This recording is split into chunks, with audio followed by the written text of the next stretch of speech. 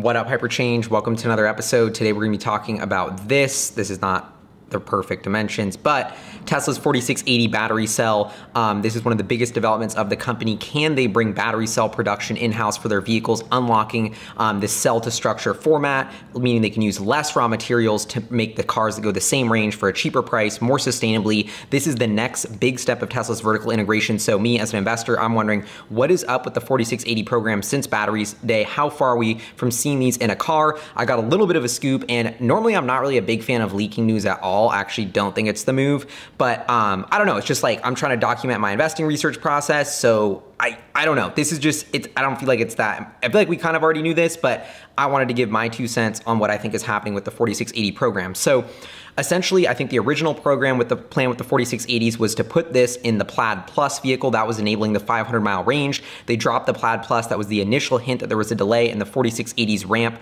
Um, and now the next sort of phase of that delay is on the last conference call. We basically heard that Elon Musk say the Model Ys, they have a contingency plan if they can't get the new 4680s ready for those. Because um, originally the Model Y that's happening in Berlin was going to use these new battery cells.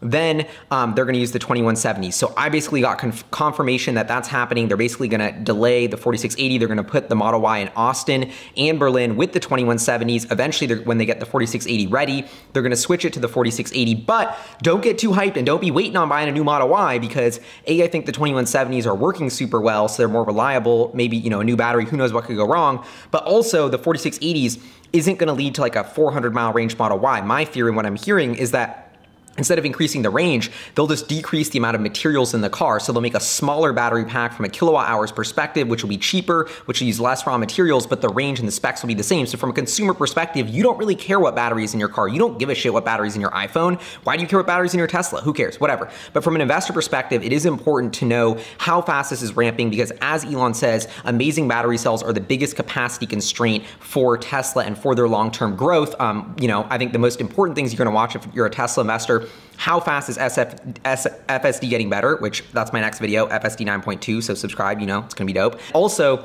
can they bring the battery cell production house? What is the status of this 4680 battery cell? So what I'm hearing, what I'm hearing is the large laminating machines, which turn that cathode powder um, into the usable material for jelly rolls by crushing it have very limited tolerances, but they're getting some like little dents when they turn that cathode powder into the sheet for the jelly roll. And so that is causing delays. And so they're still having burst production where they make the correct cells, but then the machine will go wrong. And then they have this huge layer of, of the cathode powder that they turn into this long strip, but then it has this little dent, so they have to throw it away and start over again. So that is the problem. Um, but in theory, from an engineering perspective, they validated it. So that's the flip side here. Like we're getting into the nitty gritty details of why is there a delay, what is the delay, what's going on here. But the truth of the matter is, Tesla's working extremely fast and is developing this incredible technology at an unbelievably unprecedented pace and is making huge progress. And I think it's still on the way to commercializing this game-changing cell, putting it in cars, changing the whole world and the whole industry that's all happening and is actually closer than ever to happening. Um, so it's important to keep that context in mind. But that is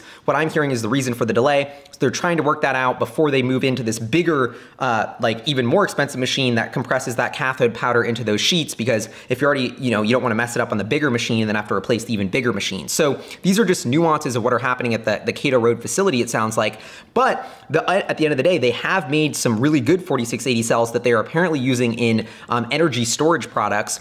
But I think the, the fact of the matter is they really want to get this once they hit scale production into the Model Y, and that will be the first sort of mass market Tesla vehicle with the 4680 cell. Also, this is another reason that I think we heard sort of in between lines on AI about the Cybertruck, um, where the Cybertruck sounds like it's delayed until about late or mid 2022 at the earliest, and that once again is because it's going to rely on these 4680 battery cells. Um, so that is sort of what's holding up a couple of the new product innovations from Tesla. So anyway, this is Hyperchange. The gist is Tesla's making huge progress on commercializing the 4680 cell, but of course, a Elon, he's pushing for these unbelievable, unprecedented timelines, and they were a little too ambitious with trying to get the 4680 ready to get the Model Y lines off the ground in Austin Berlin. They just want to get that product out the door. I mean, if you are trying to buy a Tesla right now, you can't. Used Tesla prices are insane. It's like Tesla's totally sold out. Um, they're literally just like can't make enough of them, even though they're expanding production like crazy to sell them. So I think the correct move here is to put the 2170s in these Model Ys, get those programs off the ground before switching them to the 4680 when they're ready.